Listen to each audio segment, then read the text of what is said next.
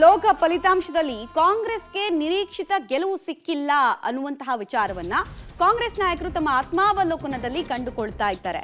ಕಾಂಗ್ರೆಸ್ ನಾಯಕರಿಗೆ ಗ್ಯಾರಂಟಿ ಮೇಲೆ ಅನುಮಾನ ಶುರುವಾಗ್ತಾ ಇದೆ. ಗ್ಯಾರಂಟಿ ಕೈ ಹಿಡ್ದಿಲ್ಲ ಅಂತ ಬಹುತೇಕ ನಾಯಕರು ಒಳಗೊಳಗೆ ಮಾತಾಡ್ಕೊಳ್ತಾ ಇದ್ದಾರೆ, ಆತ್ಮಾವಲೋಕನವನ್ನ ಮಾಡ್ಕೊಳ್ತಾ ಇದ್ದಾರೆ. ರಾಜ್ಯದಲ್ಲಿ ಯಾಕೆ ಗ್ಯಾರಂಟಿ ಕೈ ಹಿಡಿದಿಲ್ಲ ಅನ್ನೋ ಬಗ್ಗೆ ಗೊಂದಲಗಳು ಏರ್ಪಡ್ತಾ ಇದೆ. ಕಾಂಗ್ರೆಸ್ ಗ್ಯಾರಂಟಿಗೆ ಜನರಿಂದ ಪ್ರತಿ ಗ್ಯಾರಂಟಿ ಸಿಗಲಿಲ್ಲ ಯಾಕೆ ಅನ್ನೋ ಚರ್ಚೆ ಕಾಂಗ್ರೆಸ್ ಶಾಸಕರುಗಳಲ್ಲೇ ಶುರುವಾಗಿದೆ.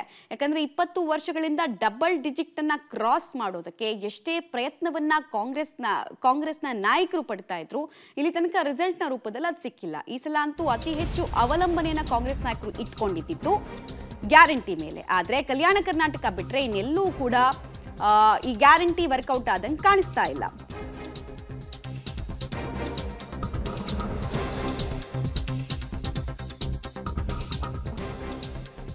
ವಿಧಾನಸಭೆಯಲ್ಲಿ ಕೈ ಹಿಡಿದ ಗ್ಯಾರಂಟಿ ಲೋಕಸಭೆಯಲ್ಲಿ ಫೇಲ್ ಆಗಿದೆ ಅನ್ನೋ ವಿಶ್ಲೇಷಣೆ ಕಾಂಗ್ರೆಸ್ ನಾಯಕರಿಂದಲೇ ಕೇಳಿ ಬರ್ತಾ ಇದೆ.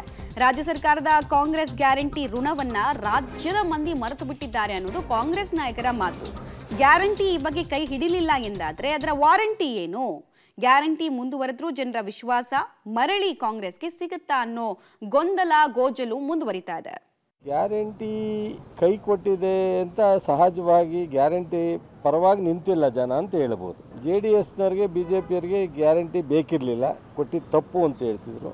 ಈಗ ಅದೇ ರೀತಿ ಗ್ಯಾರಂಟಿನ ಅಕ್ಸೆಪ್ಟ್ ಮಾಡಿಲ್ಲ ಅಂತ ಹೇಳೋದ ಅಥವಾ ಗ್ಯಾರಂಟಿ ನಮ್ಗೆ ಅವಶ್ಯಕತೆ ಇಲ್ಲ ಅಂತ ಹೇಳೋದ ಅಥವಾ ಗ್ಯಾರಂಟಿ ಬಗ್ಗೆ ಅವ್ರಿಗೆ ತೀರ್ಪು ಕೊಡೋನಾಗ ಗ್ಯಾರಂಟಿನ ಮರ್ತರು ಅಂತ ಹೇಳೋದ ಗೊತ್ತಿಲ್ಲ.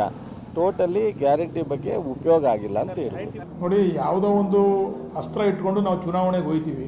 ಈಗ ಅದು ಕೈ ಹಿಡ್ದಿಲ್ಲ ಅಂತಕ್ಕಂಥ ಮನವರಿಕೆ ಆಗಿದೆ. ನಮ್ಮ ವಿರೋಧಿಗಳು ಕೂಡ ಆ ಮಾತನ್ನು ಹೇಳಿದ್ದಾರೆ. ಗ್ಯಾರಂಟಿಗಳಿಂದ ಏನು ಪ್ರಯೋಜನ ಆಗಿಲ್ಲ ಇವರಿಗೆ ಅಂತೇಳಿ. ಈಗ ಅದನ್ನು ಪರಾಮರ್ಶೆ ಮಾಡ್ತಕ್ಕಂಥದ್ದು ಚುನಾವಣೆ ಅಂದಮೇಲೆ ಪಟ್ಟು ಹಾಕ್ತಕ್ಕಂಥದ್ದು, ಒಂದು ಪಟ್ಟಲ್ಲಿ ಸರಿ ಹೋಗಲ್ಲ ಇನ್ನೊಂದು ಪಟ್ಟು ಹಾಕ್ಬೇಕು ಅಂತಕ್ಕಂಥ ತೀರ್ಮಾನ ಮಾಡಬೇಕಾಗಿರ್ತಕ್ಕಂಥದ್ದು ನಮ್ಮ ಮುಖಂಡರುಗಳು. ಯಾಕಂದರೆ ಜನ ಗ್ಯಾರಂಟಿಗಳು ನಮ್ಗೆ ಅವಶ್ಯಕತೆ ಇಲ್ಲ ಅಂತಕ್ಕಂಥ ತೀರ್ಪನ್ನು ಈ ಚುನಾವಣೆಯಲ್ಲಿ ನಮಗೆ ಕೊಟ್ಟಿದ್ದಾರೆ. ಅದು ಮುಂದುವರಿಸಬೇಕಾ, ಬೇಡವಾ ಅಂತಕ್ಕಂಥದ್ದನ್ನು ಹೇಳಲಷ್ಟು ದೊಡ್ಡವನು ನಾನಲ್ಲ. ಅದಕ್ಕೆ ತೀರ್ಮಾನ ಮಾಡಲಿಕ್ಕೆ ದೊಡ್ಡ ದೊಡ್ಡ ನಾಯಕರುಗಳಿದ್ದಾರೆ ಮುಖ್ಯಮಂತ್ರಿ, ಉಪಮುಖ್ಯಮಂತ್ರಿ, ಮಂತ್ರಿಮಂಡಲ ಎಲ್ಲ ಇದೆ. ಅವರೆಲ್ಲ ಚರ್ಚೆ ಮಾಡಿ, ಪರಾಮರ್ಶೆ ಮಾಡಿ, ಆಮೇಲೆ ತೀರ್ಮಾನ ತೆಗೆದುಕೊಂತಾರೆ ನಾವು ಮೋದಿ ಅಲೆ ಕೆಲಸ ಮಾಡಲ್ಲ ಅಂದ್ಕೊಂಡಿದ್ದು ನಾವು.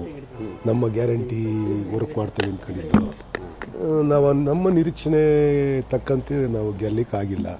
ಅದು ಬಿಟ್ಟರೆ ರಾಜ್ಯದಲ್ಲಿ ಕಾಂಗ್ರೆಸ್ನ ಪರ್ಫಾರ್ಮೆನ್ಸು ಕಳೆದ ಬಾರಿಗಿನ್ನ ಒಳ್ಳೆ ಪರ್ಫಾರ್ಮೆನ್ಸ್ ಅನ್ ಅನ್ಕೊಂಡಿದ್ರು ಸಮಾಧಾನಕರವಾಗಿರ್ತಕ್ಕಂಥ ಪರ್ಫಾರ್ಮೆನ್ಸ್ ಕಾಂಗ್ರೆಸ್ ಮಾಡಿದೆ ಅಂತ ಅನ್ಕೋತೀವಿ ಕೆಲವು ಕಡೆ ಆಗಿದೆ, ಕೆಲವು ಕಡೆ ಆಗಿಲ್ಲ ಅಂತ ಅನಿಸುತ್ತೆ. ಈ ರಿಸಲ್ಟ್ ನೋಡಿದ್ರಾಗ ನೋಡಿದ್ರೆ